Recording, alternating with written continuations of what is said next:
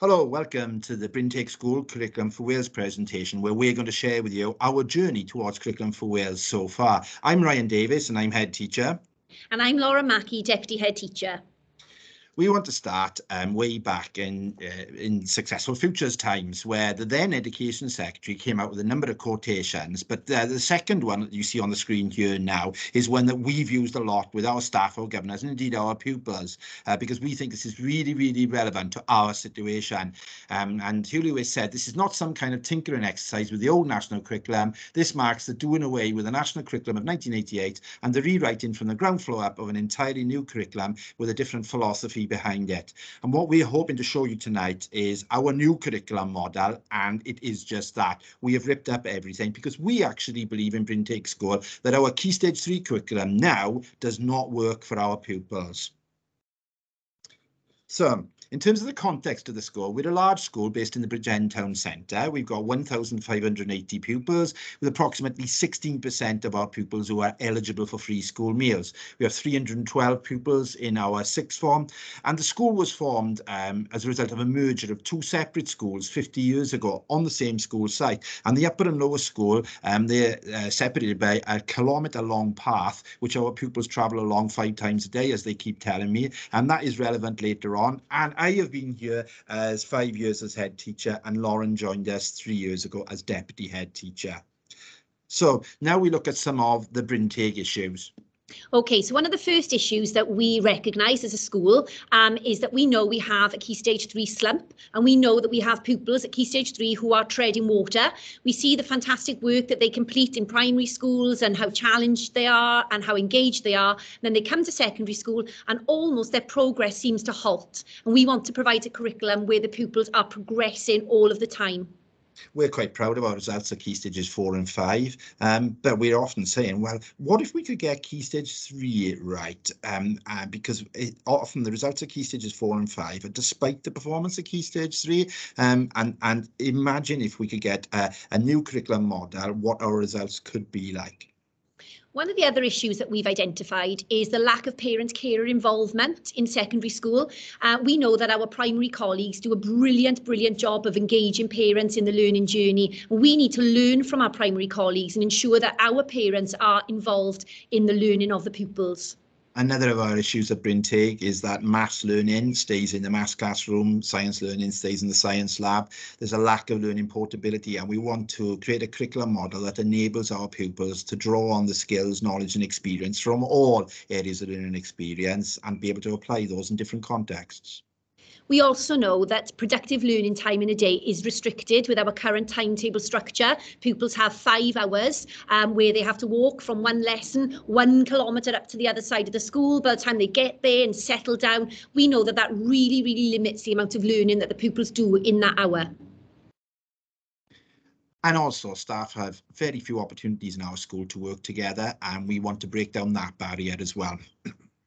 And probably most importantly, we know that we have most years 35% of our pupils who do not meet that gold standard 5A star to C grades. And what are we doing for those pupils? We have to make sure that our curriculum is inclusive of all and allows all of our pupils to progress right from the very start of the process, we realised that uh, um, we committed to ensuring that pupils co-construct this model with us. The pupil voice is really, really important. We've asked our pupils lots of questions and they've given us lots of information and they've been the key people in terms of steering our vision. Um, one of the questions, for example, we asked them is what do you enjoy most in lessons? And they came out with things such as practical lessons. They like seeing an end product. They like something um, to be able to see, touch, feel something at the end of the learning process, uh, which has significantly affected the the way that we think about our, our curriculum vision. And so we've taken all of this information and put it together in our vision for our curriculum model. Okay, so this work, um, we, we decided to trial different things back in 2020, 2021, where we wanted to trial a thematic curriculum. So you can see the curriculum there. We chose three separate themes for the three terms, and we looked for opportunities where um, clusters could work together. There could be links between clusters.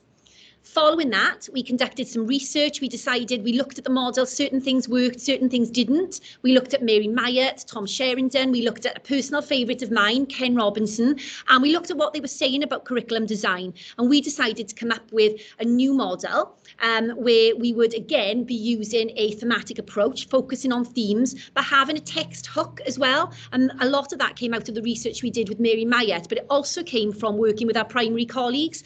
And when we asked the question them, um, you know, which theme has been the best one you've ever done, they all talk about it having a textual hook. We knew that we had to introduce that into our curriculum. So we had three separate themes and we looked for opportunities for clusters to work together. On top of that, we had two whole school cluster challenge weeks where the timetable is completely suspended and pupils in each year group are allocated to a particular area of learning and exciting opportunities, project-based learning, etc. is planned for those pupils during those two weeks however brilliant that model is, there are serious barriers to it. Um, for example, in the cluster challenge weeks, there are huge efforts from staff and pupils, all squeezed into one week. And you know, staff and pupils are on their knees by the end of the week. They've all enjoyed themselves, but they they they they can't see how they can continue with that on a longer term basis. And uh, and really importantly, there's no real continuity in learning and progression. Pupils then go back to normal lessons, and they don't see how the two things link. It's also really difficult because because it's all in one week. It's difficult for staff to book visitors and buses for trips, and they found that that really limited what they could do as a result. And we also know that it impacted in terms of the rest of the school. Our Key Stage 4, our Key Stage 5 classes almost got a little bit neglected during those weeks because the focus was very much on um, the cluster challenge, the pupils in Key Stage 3 and how they can progress in that week. And of course, uh, because the pupils were going back to the normal timetable uh, in between these cluster challenge weeks, there's limited opportunities there for project-based learning opportunities. And, and it's the project-based learning opportunities that pupils said they really, really enjoyed during our cluster challenge week. And so we need to look at a model which would allow them more access to project-based learning opportunities. Um, and also within this model as well, there's limited opportunities again for collaboration within and across clusters. And so taking all of that information, um, look, uh, the information from our pupils pupils, our parents and carers, and then looking at the barriers to the model, we've come up with our chosen model. And our chosen model is quite radically different. So this is what our year seven pupils will experience when they come into our school, when they join us in September. And their timetables will look quite different to the timetables that we have today. Um, for example, on Monday week A, they'll have a new humanities day where the whole of the humanities team will be working with our pupils on what we are calling expeditions. On a Wednesday, they'll have language languages, literacy communication day, and expressive arts day, and so on, as we work through all of the areas of learning experience. In between, on the Tuesdays and Thursdays, our pupils will experience workshops in science and technology, languages, and so on, to uh, uh, develop the skills that they need for these expeditions that they're doing on the expedition days. Okay, so what will the curriculum look like? You've seen the structure. We are going to continue with three broad themes. However, we have very much changed them up and we've worked with our pupils in primary schools in order to come up with new themes. And there'll be a series of expedition challenges for the pupils to work towards within each theme as well what we think is really important is to ensure that within these expeditions, within these themes, that we interweave literacy, numeracy, digital competence, and the wider skills as well, the creativity skills, but also PSE and SRE and so on. And so it's quite a big challenge, but it's happening in Brynteg School at the moment. We also know for a curriculum like this to work, we need to have excellent staff driving it. So we've decided to appoint um, what we are calling expedition leaders, one per cluster and one for our dyfodol provision as well. And these people have been appointed, they have a TLR and also have some time in order to develop the resources. And one of the last things we've decided to do as well with this model is to introduce iPads for each year seven pupil. So they'll have a one-to-one -one device and the pupils will be able to document their learning using, using Seesaw as their e-portfolio as they go through. We've appointed expedition leaders. You can see our expedition leaders who are leading the development of these expedition challenges, and they're doing some quite phenomenal work, and you can see them on the screen there. Um, they are leading the expedition days, and they're working also very, very closely, as Lauren has said, uh, with the learning coordinators to ensure that the workshops in between the expedition days feed in and develop the skills that are needed um, to be successful on, in those expeditions. Okay, so what might an expedition day look like? You can see here an example of um, a humanities expedition day. So just to give a little bit of context, as part of the What is Freedom big question, pupils will be studying Article 14 of the UNCRC, which explores the right that children can be free to be of any or no religion.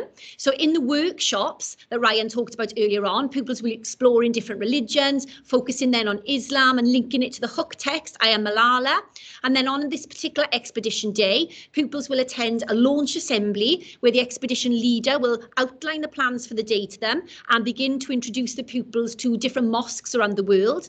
Then between 10 and 12 o'clock, the pupils will attend a will will go off and visit Aberkenfig Mosque um, on rotation and they'll talk to Muslims about their beliefs and practices. They'll be able to take some photographs and document their learning throughout using their iPads. Then between 12 and 1.25, the pupils will return to school and they'll choose from a menu of creative tasks which will help them to express how they've learned throughout that particular visit. So they may build their own mosque, design their own prayer mat, they may present what they've learned from their visit on the school radio station, they may learn to write their name using calligraphy and so on. So lots of different um, creative opportunities for them there. And then the last hour of the day, is really, really important. They'll complete any of the creative tasks from earlier on, but they'll also have some reflection time, which we believe is so important in this model. The pupils will complete their daily writing journal and where they will document all the learning that they've done and they will upload work onto their e-portfolio so that they can share their learning with their parents and carers and they can assess any progress that they've made throughout the day as I said earlier on, involvement of stakeholders is really, really important and they have to know about this radically different model. Um, so we've had lots of meetings with our cluster primary head teachers and AOLE leads um, where they focus on planning preparation. We've had open meeting with parents and carers to make them aware of what is happening. We've met with our governing body um, and really importantly, probably the most important thing here is we've had curriculum pupil focus groups with year six pupils from our cluster primary schools who've actually often tipped our ideas on their head. Uh, we've gone in with an idea and they said that won't work. We needed to look like this, which is absolutely fantastic. And also we, we provide all of our staff in school with regular updates so they feel part of the process. So where are we now? Well, our expedition leaders, learning coordinators, cluster leaders have all been working together really, really regularly and they've decided on three broad themes for the curriculum. You can see them there. We've got Express Yourself for term one, Brave New Worlds for term two and Footprints for term three. And in, in terms of where we're going next, we've produced uh, curriculum overviews uh, by each AOLE and cluster so that we can pull everything together in one big um, um, strategic document. We've also conducted lots of research around text hooks, like I talked about earlier on, um, and we've decided on engaging and appropriately challenging text for the pupils our expedition leaders, learning coordinators and cluster leaders, they meet regularly and really importantly to emphasize here, we want something creative, we want something big out of them, so we're giving them quality time and lots of it as well. Um, and they're constructing the big questions for the pupils with and uh, within the three different themes. And as we said earlier, we've been working collaboratively with our primary cluster AOLE leads. and they've been meeting regularly with a clear focus on progression and challenge. So this is an example of our collaborative planning document where all the all the cluster leads, as you can see, all the expedition leaders have been inputting their big questions that they've decided on for term one under the theme Express Yourself. And they've also then come up with sub questions um, that they will carry out throughout that particular term. What they're starting to do now is they're starting to look at any authentic links that are coming out between clusters so they can collaborate between clusters as well as within clusters. So it's a really, really exciting part of the development phase that we're in at the very at this moment in time. Well, thank you for listening to our presentation. Hopefully we've given you a little taste of um, the very exciting journey that we're on. We're absolutely committed to Curriculum for Wales because we think it is the best thing that we can offer our pupils and that's all that matters to us. If you would like to find out any more information about our curriculum model, then please do not hesitate to contact Lauren or myself at Brynteg School and we'd be more than happy uh, to work with you. But thank you for listening and thank you for your time today. Thank you very much.